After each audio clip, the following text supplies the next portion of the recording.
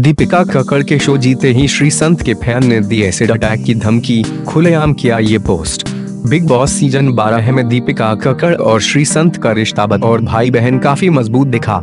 घर के अंदर भले ही इन दोनों के रिश्तों पर सवाल उठे, लेकिन घर के बाहर फैंस ने इन दोनों के रिश्तों का काफ़ी पसंद किया। इस बीच ऐसी खबरें आ रही हैं कि बिग बॉस की ट्रॉफी जीतने के बाद श्री संत के फैंस ने दीपिका को एसिड अटैक की धमकी दी है। दीपिका कक्कड़ के फैंस ने इस बात की जानकारी मुंबई पुलिस को दी है। एसिड अटैक की धमकी श्री संत के फ़ैन ने सोशल मीडिया पर ट्वीट करके दी। इस ट्वीट में दीपिका कक्कड़ को न केवल मक्खी कहा गया, बल्कि अभद्र भाषा का इस्तेमाल भी किया गया। इसी ट्वीट पर रिप्लाई करते हुए दीपिका कक्कड़ के फ़ैन क्लब अकाउंट ने मुंबई पुलिस को इस बात की जानकारी देते हुए उन्हें टैग किया। दीपिका को जिस अकाउंट से ट्वीट किया गया है, वह अपने आप को श्री संत का फ़ैन बता रहा है। श्री संत का फ़ैन बताने वाले इस शख्स का ट्वीट सोशल मीडिया पर वायरल हो रहा है। दरअसल, दीपिका कक्कड़ के शो जीतने के बाद श्री संत के फैंस काफ़ी नाराज़ हुए थे।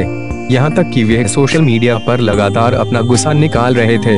आपको बता दें, दीपिका कक्कड़ के शो जीते ही बिग बॉस 11 की विनर शिल्पा शिंदे ने भी दीपिका पर निशाना साधा था। शिल्पा ने एक बाद एक ट्वीट किए थे, साथ ही उन्हें मक्खी तक कहा था। शिल्पा शिंदे ने ट्वीट किया दैश आजकल सभी प्रोजेक्ट बनावटी आते हैं। यहाँ तक कि मक्खी मारने के भी। सुना है शो के मेकर्स ने भी मिलावटी प्रोडक्ट को प्रमोट करना शुरू कर दिया है।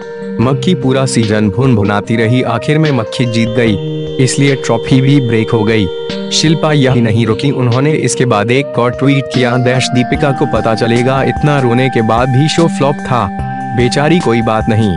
खिलौना पकड़ा। दिया शो के दौरान भी जब शिल्पा शिंदे घर वालों से मिलने आई थी तो उन्होंने श्री संत को सपोर्ट किया था। शो खत्म होने के बाद शिल्पा शिंदे श्री संत के साथ पार्टी करते हुए भी दिखाई दी थी।